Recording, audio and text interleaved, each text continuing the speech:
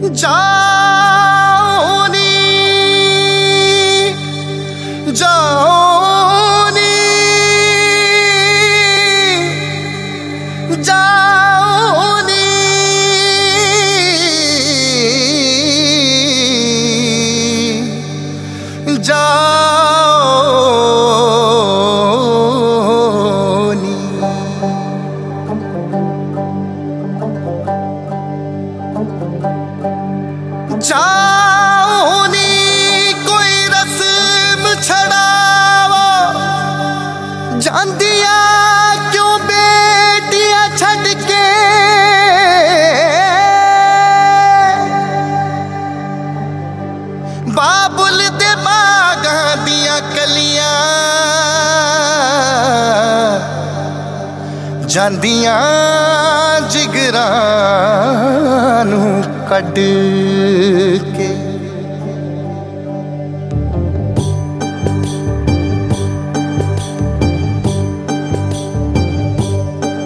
ਬਾਬੁਲਿਆ ਮੁਰਿਆ ਵੇ ਬਾਬੁਲਿਆ ਮੁਰਿਆ ਵੇ ਮੈਨੂੰ ਤੂੰ ਕਿਉਂ ਤੋਰਿਆ ਵੇ ਰਹਿਣਾ ਤੇਰੇ ਹੀ ਵੇੜੇ ਮੈਨੂੰ ਰੱਖ ਲੈ ਤੂੰ ਨੇੜੇ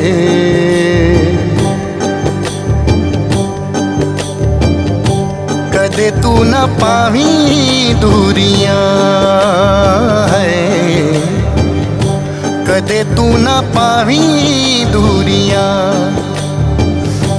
ਸਰ ਮੇਰੇ ਹੱਥ ਰਹੇ ਮੈਨੂੰ ਸਦਾ ਰਹੇ ਤੇਰਾ ਆਸਰਾ ਹੈ।